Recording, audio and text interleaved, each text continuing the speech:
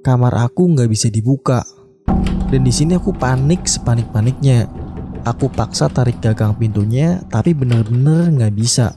Aku nggak bisa berpikir secara jernih. Aku teriak dari dalam berharap Kak Dita dengar. Selamat malam, selamat pagi, atau selamat siang. Jumpa lagi dengan mahasiswa siluman. Pernah nggak kalian mengalami hal-hal aneh ketika baru pindah kos? Seperti direp-repin atau mendengar suara-suara aneh. Nah, di video kali ini kita akan menceritakan pengalaman horor seorang mahasiswi ketika baru pindah kos di Jogja.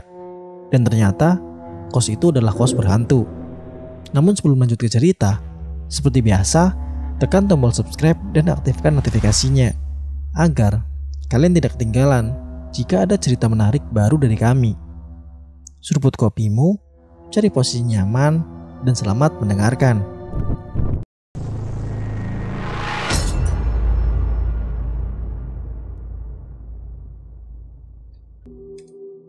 Hai, namaku Intan. Aku akan cerita tentang pengalamanku Pengalaman yang gak bisa aku lupain sampai detik ini saat aku pertama kali tinggal di kosan yang ada di wilayah Jogja. Jadi ceritanya bermula saat aku lolos menjadi mahasiswa di salah satu universitas negeri yang ada di Jogja. Awalnya aku senang banget bisa lulus di universitas impianku. Dan yang paling buat aku semangat, entah kenapa aku senang banget bayangin aku harus merantau dan belajar hidup mandiri.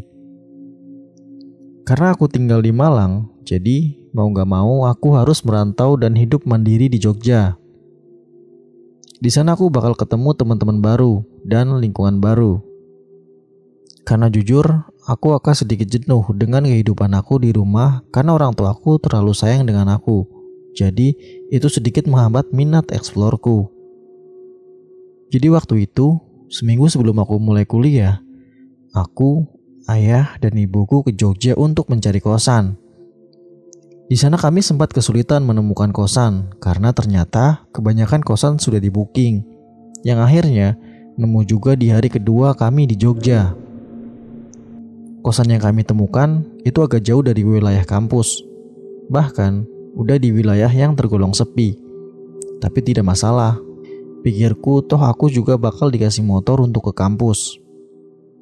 Pertama kali aku melihatnya, aku terbayang ini bakal sangat menenangkan.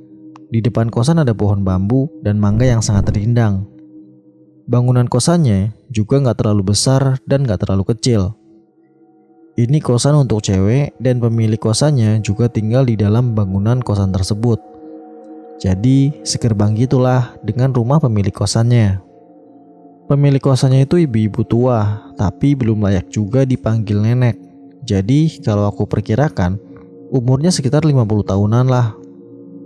Kosan ini punya ibu itu dan dia juga hanya tinggal dengan satu bocah laki-laki yang kira-kira berumur 3 sampai 4 tahunan. Yang sampai sekarang aku nggak tahu itu anaknya atau cucu si ibu itu. Jadi ibu kosannya menyambut kami dan mempersilahkan kami melihat kamar kos. Ternyata total kamar kos yang ada di situ ada 12 yang kosong ada empat kamar. Tapi dari keempat kamar itu, cuma sisa satu yang bisa ditempatin. Saat ditanya tiga kamar lainnya kenapa nggak bisa ditempatin, kata si ibu kosannya sedang direnovasi. Padahal kelihatannya baik-baik saja. Karena aku sempat ngintip dari jendela kamarnya yang ditutup horden. Samar-samar terlihat kamar itu normal-normal aja. Tapi entahlah, awalnya aku mikir mungkin bocor atau apa kali. Jadi kamar kosan buat aku kamar nomor 3. Kamar yang kosong itu kamar nomor 2, 5, dan 12.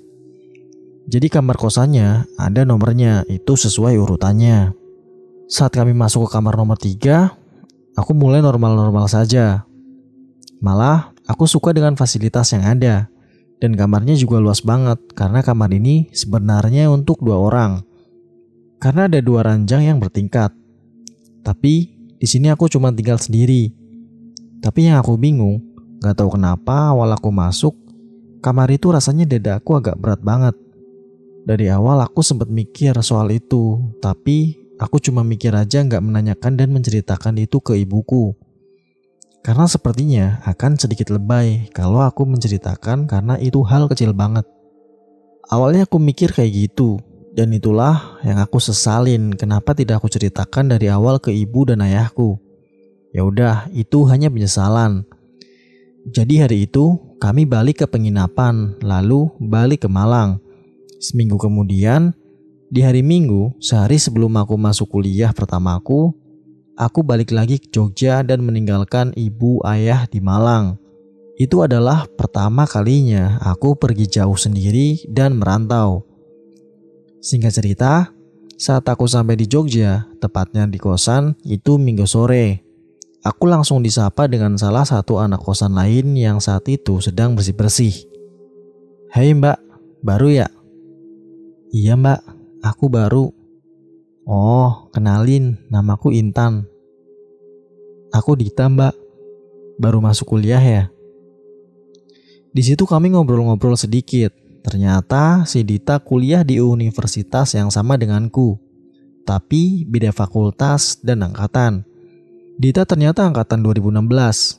Di situ aku juga pamit mau masuk ke dalam kos, tapi Dita sempat nawarin untuk main atau sekedar ngobrol-ngobrol di kosannya. Syukur pikirku, baru sampai aja aku langsung punya temen. Karena Dita kelihatannya humble banget dan suka bercerita. Ya udah aku masuk ke dalam kos. Lagi-lagi pas aku buka pintu dan masuk, nggak tahu kenapa aku merasakan dadaku sesak lagi. Sebelumnya aku nggak pernah kayak gini. Tapi aku nggak terlalu menghiraukan karena tubuhku yang pegel dan pengen rebahan itu lebih menonjol dari yang aku rasakan. Sampai gak berasa aku ketiduran beberapa jam. Lalu aku terbangun karena panik. Di sini sampai sekarang aku nggak tahu itu mimpi atau nyata yang aku dengar. Karena yang aku rasakan, aku terbangun karena mendengar keramaian di sekitarku. Yang seolah-olah aku seperti tidur di tengah-tengah keramaian pasar dan itu terjadi di kamarku. Saat aku bangun, semuanya hening. Tapi itu rasanya nyata banget. Tapi aku selalu berusaha mikir kalau itu hanyalah mimpi. Mungkin karena aku terlalu kelelahan di hari itu. Karena sekujur tubuhku dipenuhi keringat saat tidur. Aku langsung mandi dan saat sedang mandi, aku juga masih kepikiran soal mimpi itu. Apakah itu mimpi atau nyata yang aku dengar? Ya udah, setelah mandi, aku sholat maghrib dan duduk termenung karena sesak dada aku semakin berasa berat. Dari termenung hingga panik, aku juga nggak tahu kenapa aku bisa panik sendiri di kamar ini. Semakin lama, rasanya semakin aneh. Karena sesak yang aku rasakan itu seperti di kamar ini penuh dengan orang-orang. Sesak napas dan pengap. Padahal AC sudah aku nyalakan dan yang paling dingin. Dan di kulit juga rasanya dingin banget. Tapi di dalam rasanya panas banget. Akhirnya aku keluar memberanikan diri aku main ke kamar Dita. Padahal kita baru saja kenal. Di situ aku nggak bercerita soal itu. Aku cuma ngobrol soal hal lain aja untuk menenangkan pikiranku dari sesuatu yang aku juga tidak tahu. Anehnya di kamar Kak Dita semuanya normal. Aku berasa lebih lega di kamarnya. Sampai aku berharap Kak Dita basa-basi untuk nawar aku nginep di kosannya. Tapi aku malu buat minta nginep. Dan sayangnya Kak Dita nggak nawarin dong. Ya udah malam itu kami cuma cerita saja. Di situ Kak Dita cerita soal keseruan kampus dan aku sempat nanya juga soal kenyamanan tinggal di kos ini. Katanya kosan kami itu nyaman banget karena lingkungannya yang ada di pinggiran kota yang cenderung tenang dan sepi. Dan jarak sekitar 300 meter baru ada beberapa warung makanan. Kadita juga cerita, anak kosan di kamar lain juga baik-baik, tapi cenderung menjaga privasi. Tapi semuanya murah senyum. Di antaranya ada beberapa yang bukan mahasiswa karena udah bekerja. Aku juga belum pernah ketemu mereka karena kelihatannya hanya di kamar masing-masing. Saat kami sedang bercerita, aku kaget ngeliat bocah yang sedang ngintip di pintu kamar Kadita yang setengah terbuka. Kata Kadita, adik itu namanya Oki. Dia bocah manis tapi sayangnya ada sedikit kelainan. Dia bisu dan tuli. Tapi setelah setahun Kak Dita tinggal di kosan itu, dia juga ternyata nggak tahu Oki anaknya ibu kos atau cucunya. Karena ibu kosnya sangat dingin dan selalu menghindar untuk berinteraksi dengan mereka. Kalaupun ngobrol, hanya ngobrol yang penting-penting saja. Mungkin karena itu Kak Dita tidak pernah tahu asal-usul si adik Oki yang manis itu. Adik itu juga biasa seperti itu. Dia suka ngeliat kita di dalam kamar kalau pintunya dibuka. Tapi dia takut kalau dikasih kue atau semacamnya. Dia cuma suka ngeliat sambil ngintip aja. Dan mondar-mandir di halaman kosan. Karena rumah ibu kos ada di dalam pagar kosan. Lalu setelah kami ngobrol panjang lebar, Waktu juga udah sekitaran jam setengah sebelas malam. Aku balik ke kamar karena memang sudah sedikit ngantuk. Tapi saat aku mau buka pintu kamarku, nggak tahu kenapa selalu perasaan takut dan gelisah itu balik lagi. Tapi aku juga nggak tahu aku gelisah dan panik karena apa. Itulah yang aku rasakan ketika hendak mau buka pintu dan masuk. Tapi apa boleh buat, Kadita tidak menawarkanku untuk nginap dan aku juga gak berani untuk menerobos privasi orang lain. Jadi aku masuk ke kamarku dan lagi-lagi perlahan dada aku sesak dan semakin sesak. Aku duduk di ranjang sambil merenungkan kenapa aku tidak bisa nyaman di sini. Padahal baru sehari tinggal di sini. Ya udah, aku melawan rasa aneh itu dan aku mencoba tidur. Tapi sebelum tidur, aku main HP sekedar melihat aktivitas di Instagram untuk sedikit menenangkan rasa aneh yang aku rasakan. Saat aku mulai sedikit tenang sambil megang HP, aku pun hampir tertidur. Tiba-tiba, bunyi gagang kamarku yang buat aku kaget. Karena seperti ada yang mau membuka pintu. Di sini aku diam dan bingung mikir itu siapa. Aku coba manggil Kak Dita, mungkin aja Kak Dita yang mau masuk. Kak Dita, kakak di situ. Namun gak ada jawaban sama sekali. Di sini aku udah mikir yang aneh-aneh. Jadi aku gak berani buat ngecek. Tapi aku cuman diam bingung dan mikir sambil ketakutan. Dadaku masih berat dan panas, tapi ujung kakiku rasanya dingin sekali. Aku juga bingung dan gak tahu kenapa rasanya aneh begini. Sambil ketakutan dan sama sekali tidak nyaman, aku tetap berusaha tidur sambil terus berdoa dan menutup mata. Hingga akhirnya aku sadar terbangun mendengar suara motor yang ternyata suara teman-teman lain yang sedang manasin motor karena mau berangkat ke kampus. Dan jam sudah menunjukkan hampir jam 7 pagi. Aku buru-buru mandi, siap-siap untuk ke kampus. Jam 5 sore aku pulang dan sampai di kos. Tapi kos keadaannya sepi sekali. Kak Dita juga gak kelihatan, mungkin masih di luar. Aku masuk ke kamar kos lagi. Dan lagi-lagi, dadaku berat dan sesak. Ah, aku gak peduli lagi. Aku mandi di kamar mandi yang ada di dalam kamar kosku. Nah, di sini saat sedang mandi, samar-samar aku mendengar suara hentakan kaki dari kamar mandi. Aku matikan shower dan aku mendengarkan lagi. Itu benar-benar suara hentakan kaki. Yang aku ingat saat itu suara hentakan kakinya seolah ada orang di kamar aku yang nari sambil marah. Karena hentakan kakinya emang kuat dan menghantam lantai. Aku mendengarnya cukup lama. Shower aku nyalakan agar aku nggak mendengar suara itu lagi. Aku terduduk dan menangis sambil menahan takut hingga suara hentakan kakinya pun tidak terdengar lagi. Karena itu sekujur tubuhku gemeteran. Aku selalu ragu untuk keluar kamar mandi. Yang membuat selama dua jam aku di kamar mandi karena tidak berani keluar. Akhirnya aku memberanikan diri keluar buru-buru pakai baju. Aku lari ke kosnya Dita. Dan ternyata semua anak kos pada belum balik termasuk Kak Dita. Tanpa pikir panjang, Aku lari ke rumah ibu kos yang berada di belakang kosan kami. Aku mengetuk pintu dengan rasa panik. Bu, bu, assalamualaikum. Tapi sayangnya tidak ada respon. Aku coba ngintip dari jendela, apakah ada orang atau tidak. Dan saat aku mengintip, aku melihat ibu kos duduk di lantai dengan gaya duduk orang Jepang, sedang makan di lesehan. Duduknya mengharap TV, tapi TV-nya sedang tidak menyala. Aku hanya melihatnya dari belakang. Aku coba panggil, tapi tidak ada respon sama sekali. Bahkan sampai setengah jam aku memanggil, tetap tidak ada respon. Dan ibu itu juga tetap diam, hanya duduk seperti itu. Berkali-kali aku nyobi tanganku sambil bodohnya aku berharap ini hanya mimpi. Tapi ini memang kenyataan. Hari udah gelap dan aku cuma duduk di kursi depan rumah ibu kos. Aku takut untuk ke kos. Niatnya aku menunggu Kadita pulang di sini. Tapi sialnya karena terburu-buru keluar kos, aku lupa membawa HP. Perlahan aku jalan balik ke kosan sambil ngintip kosan dan aku melihat Tik Oki yang sedang mengintip ke dalam kamarku.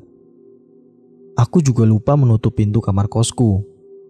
Sedikit tenang karena ada Deoki, tapi anehnya, aku melihat Tik Oki ngintip ke dalam kamar kosku seperti melihat sesuatu sambil tersenyum. Aku coba panggil, "Halo Dik, halo." Masih belum ada respon. "Halo Dik." Aku coba sentuh pundaknya. Dia kaget melihat aku, sampai nangis dan lari ke rumahnya. Yang aku pikirkan, Dikoki melihat apa di dalam. Kenapa dia tersenyum dan kaget melihat aku ada di belakangnya? Di sini aku pergi dengan motor sendiri untuk makan.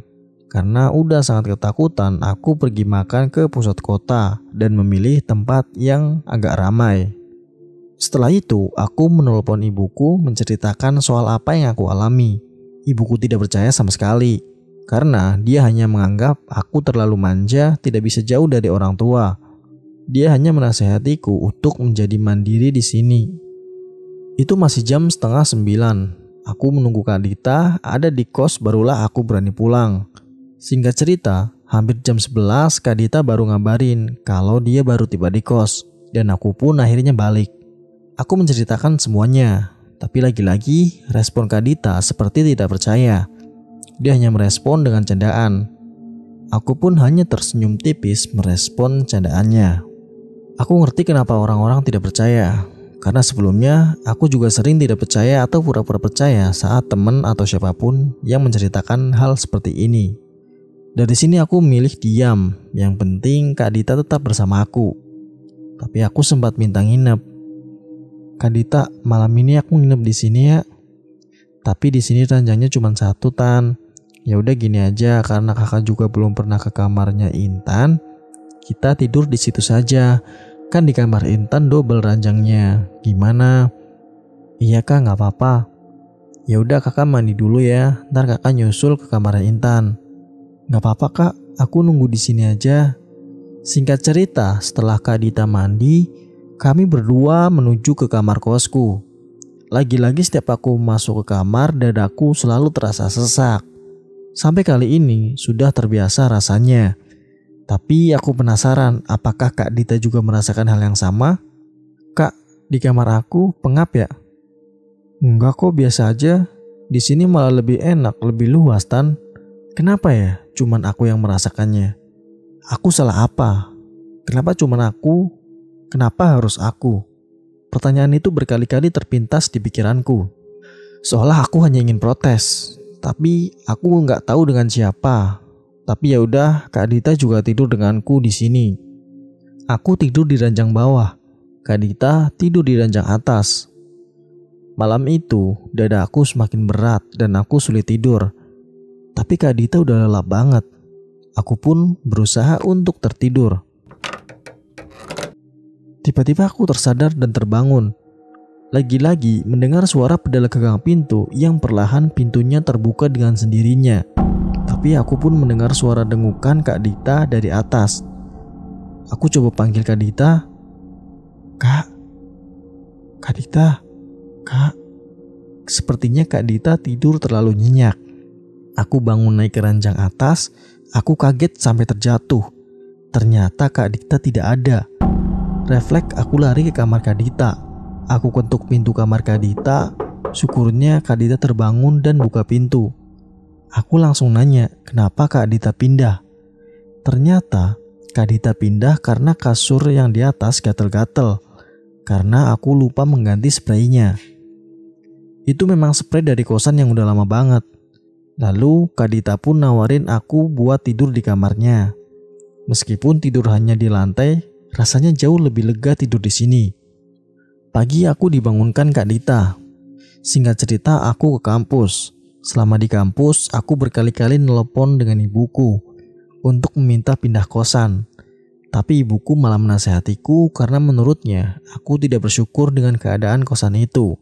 Jujur aja fasilitas dan keadaan fisik kos itu sudah lebih dari cukup buatku. Malah aku bakal senang dan tenang ada di kos-kosan yang lebih sederhana asalkan tidak ada teror mistis yang seperti aku alami di sini. Jam 5 sore, aku balik dari kampus. Lagi-lagi Kadita belum ada di kosan. Duh, aku panik lagi. Tapi aku coba melawan rasa takutku. Aku memberanikan diri masuk ke kamar. Aku nunggu sesuatu yang terjadi, tapi tidak ada yang terjadi. Cuman dada aku yang perlahan semakin berat dan sesak. Di sini aku tidak berani mandi lagi saat malam hari atau saat menjelang maghrib. Aku rebahan di tempat tidur dan tanpa sadar aku tertidur hingga jam 8 malam. Aku bangun siap-siap untuk sholat. Setelah itu aku termenung. Aku berpikir, gimana caranya orang tuaku mengizinkan aku untuk pindah dari sini. Aku coba telepon lagi, namun tetap tidak diizinkan. Aku mulai mikir untuk pindah secara diam-diam saja. Syukurnya aku punya sedikit tabungan yang cukup untuk membayar kosan beberapa bulan. Saat itu, pikiran aku sudah bulat untuk mencari kosan. Aku coba nyari kosan yang ada di Jogja via online. Saat sedang sibuk dengan laptopku nyari kosan, aku merasain kayak orang yang bolak-balik di dalam kamarku. Dan itu berasa rame banget. Tapi aku nggak melihat apa pun dan nggak dengar apa pun di sini. Tapi bener-bener aku ngerasain kayak ada hawa orang lain. Ini rasanya bener-bener aneh banget. Kalau kalian nggak tahu gimana rasanya, Kalian bayangin kalau kalian sedang ada di suatu ruangan dengan orang rame, tapi semua orangnya diam, gak bergerak dan gak bersuara. Dan kalian tutup mata. Pasti kalian gak ngeliat wujudnya dan gak dengar pergerakannya kan? Tapi pasti ada semacam indera kalian yang bisa ngerasain ada orang lain di dekat kalian. Gitulah kira-kira rasanya. Padahal itu di kamar kosku yang cuman aku sendiri. Nah saking rasa ramenya, dada aku semakin berat. Ini persis banget kayak di hari pertama aku ngerasain. Beratnya nggak kayak berat biasanya, tapi jauh lebih berat. Panas dan pengap. Tapi anehnya di kulit rasanya dingin banget, terutama di ujung kaki. Sampai sekarang, aku masih merinding. Ingat rasa aneh ini, dan aku masih bingung nggak tahu kenapa. Lalu, saat itu aku menghubungi salah satu teman baru aku di kampus, namanya Velin. Padahal kami baru kenal tadi siang. Aku coba nelpon Velin, minta untuk nginep di kosannya. Dengan ada suara yang sedikit ragu, Velin akhirnya mengiyakan permintaanku. Aku pun buru-buru siapin semua barang-barang aku. Aku membawa semua barangku, berharap ini malam terakhirku di sini. Padahal saat itu aku masih belum nemu juga kosan baru. Dan saat sedang siap-siap, aku dengar suara pintu kamar Kak Dita dibuka. Oh pas banget sekalian keluar aku mau pamit juga dengan Kak Dita dan mau mengucapkan terima kasih yang sebesar-besarnya udah nemenin aku semalam. Setelah siap-siap dan akan keluar kamar, kamar aku nggak bisa dibuka. Dan di sini aku panik sepanik-paniknya. Aku paksa tarik gagang pintunya, tapi bener-bener nggak bisa. Aku nggak bisa berpikir secara jernih. Aku teriak dari dalam berharap Kak Dita dengar. Aku teriak bener-bener sekuat tenaga karena aku panik banget. Tapi Kak Dita nggak denger, padahal dia sedang nyapu teras kamarnya. Aku mukul-mukul jendela, tetap nggak terdengar. Aku menangis di sini dan dadaku sesak banget. Hingga di sini aku baru tersadar betapa bodohnya aku nggak menghubungi Kak Dita melalui telepon. Entahlah mungkin karena aku memang tidak bisa mikir secara jernih di saat itu. Syukurlah Kak Dita angkat telepon dan langsung ke kamarku. Ternyata aku terkunci dari luar. Tapi sampai sekarang aku nggak tahu Siapa yang kunci dan gimana bisa terkunci? Logikanya kalau terkunci, harusnya aku dengar saat di dalam kamar. Karena suara klik kuncinya lumayan kenceng. Tapi ini sama sekali nggak aku dengar suara kliknya. Dan yang lebih anehnya lagi, kenapa Kak Dita bisa nggak dengar saat aku teriak? Padahal aku dengar suara pintunya terbuka dari dalam. Logikanya, harusnya dia dengar juga suara dari dalam kamarku. Tapi saat Kak Dita buka pintu, dia kaget kenapa aku bisa terkurung. Saat itu suaraku sudah serak nyaris tidak ada. Aku nangis dan sekujur tubuhku berkeringat. Kadita langsung meluk aku. Mungkin saat itu pelukan itu sangat berarti buatku. Aku butuh benar-benar tempat berlindung. Lalu aku pamit dengan Kadita untuk pindah kosan malam itu juga. Biarpun sebelumnya dia kaget kenapa aku pindah. Aku cuma bilang aku ketakutan di sini Singkat cerita, aku sampai di kosan Velin. Dia kaget aku ngebawa semua barang. Tapi syukurnya, Velin nerima aku tanpa keberatan sama sekali. Aku pikir dia akan sangat keberatan. Di sini aku cerita semuanya apa yang terjadi. Dan Velin juga orang pertama yang menganggap cerita ini adalah cerita serius. Bahkan Velin menawarkanku untuk sementara tinggal bareng bersamanya. Terima kasih Velin, di sini dia superheroku. Malam itu, akhirnya aku bisa merasa lega. Biarpun saat mandi aku merasa trauma. Padahal saat mandi di kosan Velin gak ada yang aneh-aneh. Cuman karena aku masih trauma aja. Di malam ini selama semalaman aku gak bisa tidur. Gak tahu kenapa, biarpun aku udah jauh lebih tenang, tapi ketakutan ini masih belum pergi. Aku benar-benar trauma. Hingga pagi aku belum tidur, tapi kami terus ke kampus. Saat di kampus, aku lemas banget yang akhirnya pingsan. Singkat cerita, akhirnya selama kurang lebih seminggu aku demam, cuman bisa tidur di kosan Velin. Yang akhirnya ibuku datang dan di sini aku cerita lagi apa yang terjadi di kosan lama itu. Ibuku masih tetap menganggap aku tidak bersyukur dengan keadaan kosan itu. Mungkin karena aku pergi menginap di kosan Velin yang jauh lebih mewah. Karena kosan Velin bisa dikatakan bukan kos-kosan lagi, tapi semacam apartemen. Semua fasilitas ada, termasuk kolam dan taman. Sampai sekarang ibuku masih tidak percaya dengan hal itu. Dan aku juga masih bingung dengan apa yang aku rasakan sebelumnya. Tapi selama aku tidur di rumah Velin, aku juga bingung kenapa aku sering banget mimpi tentang Dick Oki. Aku lupa mimpinya, tapi yang aku ingat itu Dick Oki. Aku juga bingung soal ibu kosnya, dari semuanya aku benar-benar bingung dengan ibu kos itu. Tapi kenapa cuma aku yang merasakan keanehan itu? Kenapa Kak Dita dan anak-anak kos lain di situ tidak merasakan apa pun? Sampai sekarang aku masih bingung dengan itu semua. Tapi itu udah lewat.